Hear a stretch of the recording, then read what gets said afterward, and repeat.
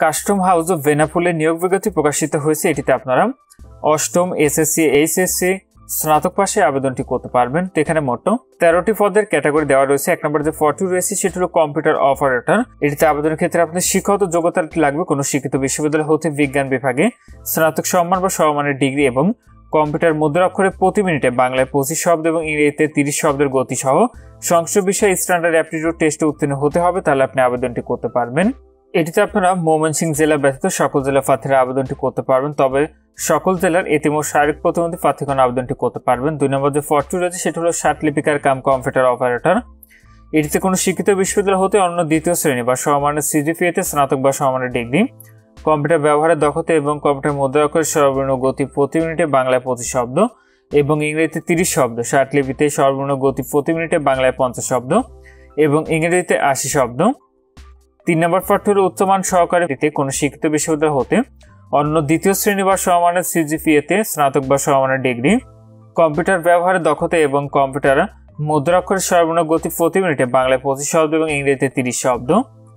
চার নম্বর পথটি হলো ক্যাশিয়ার। এটিতে আপনারা কোনো শিক্ষিত বিশ্ববিদ্যালয় হতে স্নাতক ডিগ্রি বা সমান পরীক্ষা উত্তীর্ণ, তবে বাণিজ্য বিভাগের স্নাতক ডিগ্রিধারীদের অগ্রাধিকার দেওয়া হবে। চাকুরিতে যোগদানের সময় বিধি মোতাবেক প্রয়োজনীয় জামানত জমা দিতে হবে। পাঁচ নম্বর পথটি হলো ষাট মুদ্রাক্ষরিক কাম কম্পিউটার অপারেটর এটিতে কোনো শিক্ষিত বিশ্ববিদ্যালয় হতে অন্য দ্বিতীয় শ্রেণি বা সমমানের সিজিপিএতে স্নাতক বা সমমানের ডিগ্রি, কম্পিউটার ব্যবহারের দক্ষতা এবং কম্পিউটার মুদ্রাক্ষরের সর্বনিম্ন গতি প্রতি মিনিটে বাংলায় পঁচিশ শব্দ এবং ইংরেজিতে তিরিশ শব্দ। ষাট লিপিতে সর্বনিম্ন গতি প্রতি মিনিটে বাংলায় পঁয়তাল্লিশ শব্দ, ইংরেজিতে সত্তর শব্দ। ছয় নম্বর পদটি হলো অফিস সহকারী। এটিতে আপনার উচ্চ মাধ্যমিক সার্টিফিকেট বা সমান পরীক্ষা উত্তীর্ণ হলে আবেদনটি করতে পারবেন এবং কম্পিউটার ব্যবহারের দক্ষতা থাকতে হবে। সাত নম্বর পদ ছিল, গাড়ি চালক, এটিতে আপনারা জুনিয়র স্কুল সার্টিফিকেট বা সমান পরীক্ষা উত্তীর্ণ হলে আবেদনটি করতে পারবেন এবং হালকা গাড়ি চালানোর বৈধ হালকা ড্রাইভিং লাইসেন্স থাকতে হবে। আট নম্বর পদটি হলো, টেলিফোন অপারেটর, এটিতে এইচএসসি পাস সহ টেলিফোন অপারেটর হিসাবে তিন বছর অভিজ্ঞতা সম্পন্ন হতে হবে, তাহলে আপনি আবেদনটি করতে পারবেন।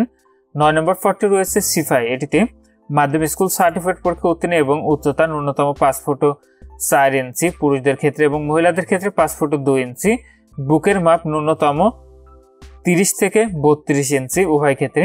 দশ নম্বরটিতে রয়েছে ফটোকপি অপারেটর এটিতে উচ্চ মাধ্যমিক সার্টিফিকেট বা সমান পরীক্ষায় উত্তীর্ণ হলে আবেদনটি করতে পারবেন এবং ফটোকপি মেশিন চালানো বাস্তব অভিজ্ঞতা থাকতে হবে এবং কম্পিউটার ব্যবহারে দক্ষতা থাকতে হবে।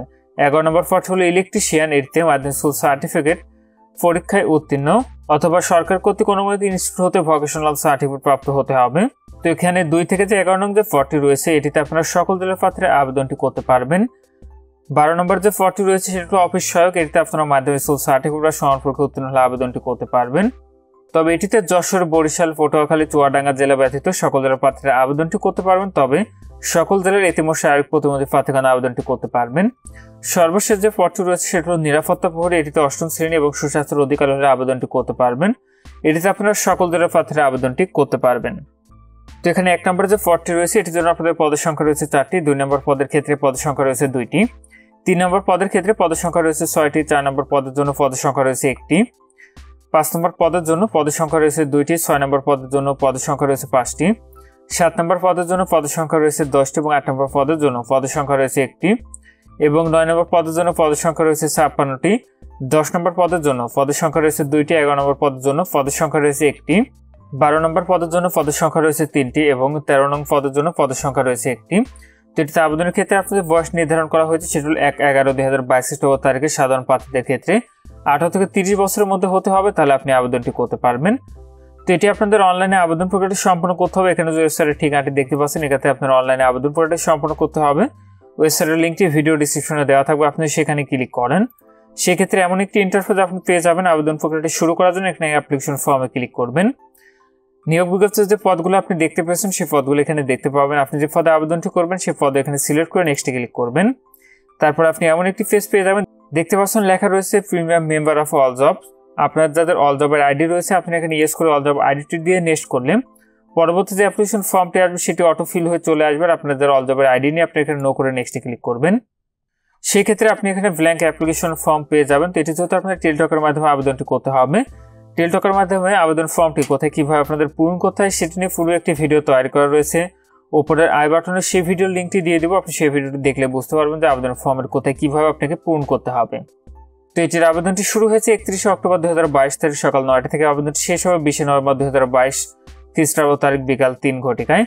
এবং আপনি যখন অনলাইনে আবেদন ফর্ম পূরণ করবেন, আবেদন ফর্ম পূরণ করার পরবর্তী বাহাত্তর ঘণ্টার মধ্যে নির্ধারিত ফিটি রয়েছে ফিটি আপনাকে প্রস্তুত করতে হবে। এবং অনলাইনে আবেদন করার সময় আপনার ছবি এবং স্বাক্ষরের প্রয়োজন হবে, যেটি আপনি পূর্বে থেকেই সাইজ করে নেবেন। তো এটিতে এক নং কমিকের পদের জন্য আপনার ফি দিতে হবে তিনশো চৌত্রিশ টাকা, দুই থেকে আটত্রিশ নং পদের জন্য আপনার ফি দিতে হবে দুইশো তেইশ টাকা, এবং নয় থেকে তেরো নং কমিকের পদের জন্য আপনার ফি দিতে হবে একশো বারো টাকা। তো ফিটি আপনাদের টেলটকের মোবাইল নাম্বার থেকে এস এম এস এর মাধ্যমে ফিটি পরিশোধ করতে হবে, কীভাবে এস এম এস এর মাধ্যমে ফিটি পরিশোধ করবেন। দেখতে পাচ্ছেন এখানে এস এম এস এর নিয়মাবলীটি দেওয়া রয়েছে।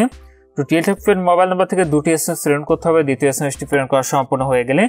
আপনি একটি ইউজার আইডি এবং পাসওয়ার্ড পাবেন, সেটি সংগ্রহ করে রেখে দেবেন। পরবর্তী আপনার পরিশোধ ডাউনলোড সময় সেটি প্রয়োজন হবে। আর ফার্স্ট যে বিষয়টি পরবর্তী আপনার মোবাইলে এস এম এস এর মাধ্যমে জানিয়ে দেবে। তখন আপনি ওয়েবসাইট থেকে আপনার পরিশোধটা ডাউনলোড করে নিতে পারবেন। তো এখানে এই ছিল কাস্টম হাউস বেনাপোলের সেই নিয়োগ বিজ্ঞপ্তিটি। আপনি যখন এটার আবেদনটি শুরু করেন না কেন, আবেদনটি করার পূর্বে নিয়োগ বিজ্ঞপ্তিটি সম্পর্কে ভালো করে পড়ে বুঝে তারপর আপনি আবেদনটি করবেন। নিয়োগ বিজ্ঞপ্তিটি ডাউনলোড করতে চান ভিডিও ডিসক্রিপশনে লিঙ্কটি দেওয়া থাকবে। আপনি চাইলে সেখান থেকে এটা ডাউনলোড করে নিতে পারবেন। তো আজকের ভিডিও এই পর্যন্ত। সে ভালো থাকুন, সুস্থ থাকুন, নিরাপদ থাকুন। আল্লাহ হাফেজ।